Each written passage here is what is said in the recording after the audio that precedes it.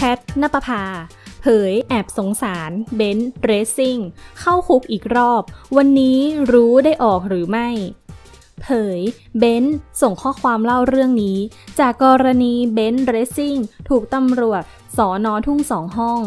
จับกลุ่มในข้อหาฝ่าฝืน พ.ร.ก.ฉุกเฉิน และขับรถโดยไม่คำนึงถึงความปลอดภัย เมื่อวันที่ 25 มิถุนายนที่ผ่านมา ทำให้ไม่ได้รายงานตัวตามนัด คดีฟอกเงิน ต่อมาในวันที่ 26 มิถุนายนที่ศาลอาญา รัชดาพิเศษศาลได้พิจารณาให้เพิกถอนการประกันตัว ล่าสุด อดีตภรรยา แพทนปภา เผยผ่านรายการตกมันบันเทิง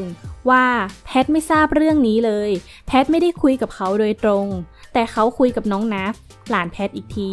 น้องนัฟก็เลยถามว่าเกิดอะไรขึ้น ในมุมมองของเขา เขาอธิบายว่าไปกินหมูกระทะที่รังสิตขากลับ เขาก็ยอมรับว่าเขาขับช่องมอเตอร์ไซค์ห้ามขับ เป็นถนนทางคู่ขนานใต้โทเวย์แล้วเจอรถผลไม้คว่ำผลไม้เต็มถนนเลยจอดดู ระหว่างนั้นมีตำรวจเคลียร์อุบัติเหตุด้วย เลยโดนตำรวจเรียกดูใบขับขี่ พอเรียกดูปุ๊บ เขียนใบสั่ง แล้วพอเจอว่าเป็นเบนซ์เรซซิ่งก็เลยเรียกไปสอนอ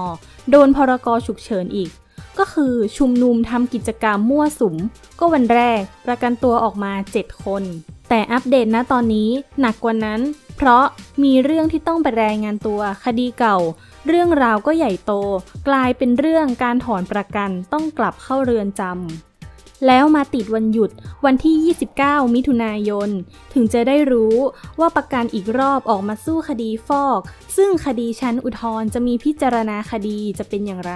เดือนสิงหาคมนี้ ซึ่งตั้งแต่วันศุกร์น้องก็บอกว่ายังติดต่อเขาไม่ได้เลย เขากลับเข้าไปอยู่ข้างใน นอกจากนี้แพทยังเผยความรู้สึกว่า แพทก็แอบสงสารเขาคนพอเจอเรื่องแบบนี้คนก็ด่าเละเทะ แต่ส่วนหนึ่งก็ต้องยอมรับว่าที่มันเกิดขึ้น ถ้าเขาไม่ออกไปหรืออะไรก็แล้วแต่ เรื่องมันก็ไม่น่าเกิดขึ้น แต่ในความคิดของเขา ก็คงแบบว่า เราออกไปกินข้าว ขับมอเตอร์ไซค์ออกไป ไม่ได้ตั้งใจจะไปชุมนุม และเห็นว่าไม่มีเคอร์ฟิวแล้ว ท้ายที่สุดก็คือเป็นกำลังใจให้ อย่าลืมกดติดตาม เพื่อจะได้ไม่พลาดข่าวสารใหม่ๆกันด้วยนะคะ ขอบคุณค่ะ